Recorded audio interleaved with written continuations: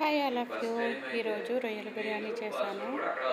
So రొయ్యలు వేగిపోయిన తర్వాత క్యారెట్ అండ్ పచ్చిమిర్చీలు టమాటాస్ వేసాను ఇవన్నీ వేగిపోయిన తర్వాత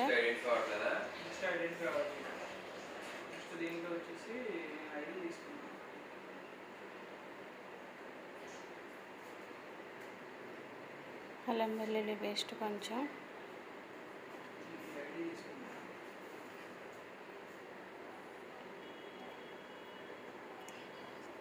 సో దోరగా వేగిన ఇంకొంచెం ఇప్పుడు.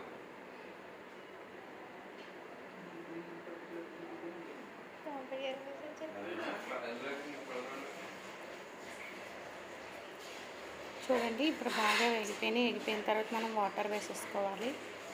సో వాటర్ వేసేసాను రెండు గ్లాసులు బిర్యానీ అయితే నాలుగు గ్లాసులు వాటర్ వేసుకోవాలి.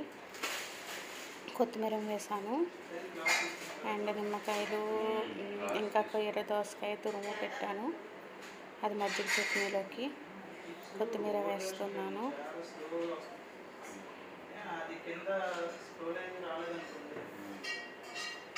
సో రైస్ అన్నీ వేస్తాను చెయ్యి. ఇంటికి వచ్చినప్పుడు నీకు టైం ఉన్నప్పుడు సో మొత్తం పెట్టేసుకున్న తర్వాత టూ విజిల్స్ వస్తే సరిపోతుంది. సో రెడీ అయిపోయింది. అమ్మి అమ్మి రొయ్యల బిర్యానీ కీర దోసకాయలు ఆనియన్స్ అన్ని నిమ్మకాయలు పెట్టుకున్నాము.